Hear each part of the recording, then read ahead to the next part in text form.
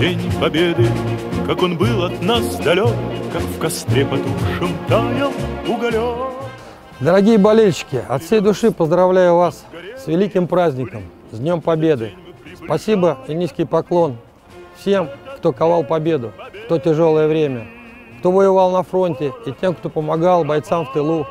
Вечная память павшим и вечная слава тем, кто вернулся с войны. С праздником!